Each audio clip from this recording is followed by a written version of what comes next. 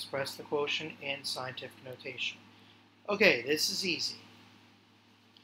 So, let's divide and conquer.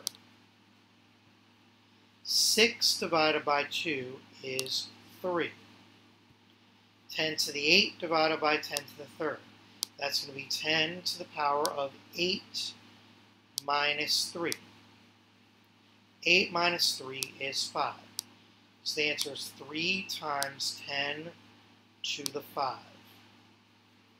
Or 3 with 5 zeros after it. 1, 2, 3, 4, 5. 300,000.